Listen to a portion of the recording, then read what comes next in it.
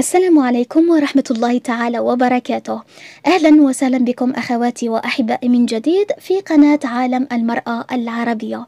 مجددا أخواتي وفي فيديو اليوم إن شاء الله. سأشارك معكم وصفة رهيبة بأتم معنى الكلمة. وصفة لكل واحدة تعاني من مشكلة تصبغات حادة كالكلف أو النمش أو الدسة أو تلك التصبغات الناتجة عن الإهمال أو عن حروق الشمس أو غيرها. وصفة من أروع ما يكون بمكون دخيل يعتبر يعتبر من أكبر أسرار مراكز التجميل. مكون يخترق خلايا البشرة يزيل البقع والتصبغات مهما كانت قديمة أو صعبة ويمنع نمو شعر الوجه ويفتح لون البشرة. وصفة تستحق التجربة. فما عليكم فقط أخواتي المتابعة لآخر الفيديو وقبل أن نبدأ أرجو منكم فقط الاشتراك في القناة إذا لم تشتركوا بعد ولا تنسوا تفعيل الجرس و like للفيديو إذا أعجبكم أكيد. إذا أخواتي مبدئيا وبالنسبة إلى المكون الأول والأساسي في هذه الوصفة وهو الذي تشاهدونه أمامكم في الصورة والذي قد يتبين لكم من خلال اللون أو الشكل أنه فول صغير مجفف أو حمص ولكن في الحقيقة هو مكون يسمى بالترمس. يباع عند العطارين ومتوفر في كافة الدول العربية بإمكانكم شراؤه إما مطحون أو حبوب كما التي في الصورة. هذا المكون تحديدا وبالرغم أن القلة القليلة التي تعرفه إلا أنه يستخدم من أكبر الماركات والشركات العالمية المصنعة لمستحضرات التجميل ولعل من بينها إيفوشي.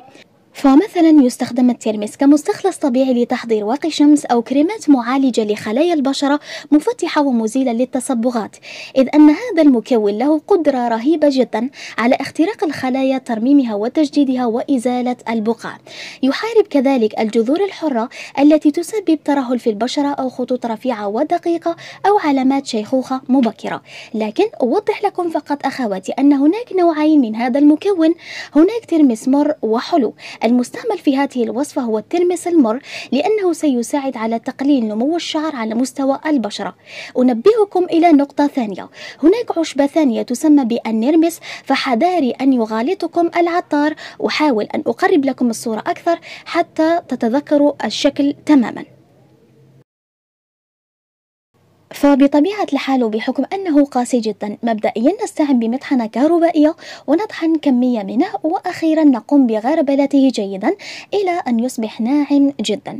بالنسبة إلى الكمية لكم واسع النظر. هنا أنا سأستعمل ما يعادل ملعقة كبيرة مملوءة جيدا. أما الآن فننتقل إلى المكون الثاني.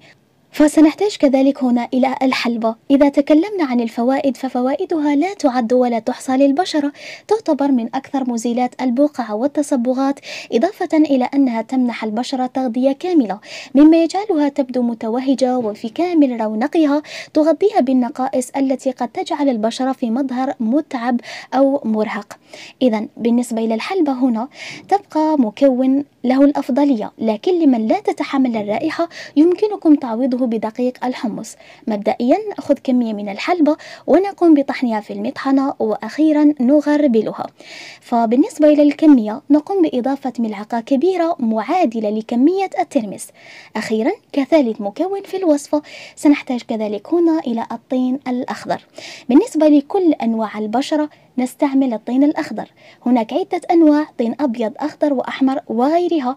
فالطين الأخضر يعتبر من أجود أنواع الطين القابض للبشرة المحارب للتجاعيد والمفتح للبشرة. إذا بإمكانكم الحصول عليه من عند العطار إما مطحون أو حجرة. واضح؟ إذا بالنسبة إلى كمية الطين نفس الشيء كمية معادلة أي ملعقة كبيرة. وأخيرا نخلط المكونات الجافة مع بعضها البعض. وحتى نجمع هذه المكونات سنحتاج هنا إلى الحليب ولكن من الضروري جدا أن يكون الحليب ساخن أو على الأقل دافئ. نقوم بإضافة كمية متواصلة من الحليب ونجمع في كل مرة إلى أن نتحصل على قوام كريمي مماثل للذي تشاهدونه أمامكم في الصورة. أما أخواتي بالنسبة إلى طريقة الاستعمال وكالعادة أولا تنظف البشرة بماء فاتر ثم تجفف ويطبق الماسك على بشرة نظيفة تماما.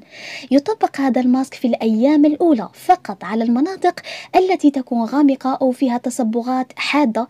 ثلاث مرات في الأسبوع لمدة نصف ساعة فقط تشطف بماء فاتر أولا ثم بماء بارد لغلق المسام وأخيرا ترطب بأي مرطب ماء الورد أو كريم مرطب. لكن بعد مدة أي عندما نلاحظ بأن التصبغ بدأ يزول أو بدأت تتفتح البشرة يمكن استعمال هذا الماسك على كامل بشرة الوجه وهو صالح لكل أنواع البشرة. إذا أخواتي كانت هذه هي الوصفة والتي أرجو منكم فعلا تجربتها لأنها تستحق التجربة جد فعالة ومجربة. أقول لكم كالعادة أي استفسار اكتبوه في قسم التعليقات فسأرد عليكم إن شاء الله. أما إلى هنا فأستودعكم الله الذي لا تضيع ودائعه. السلام عليكم ورحمة الله تعالى وبركاته.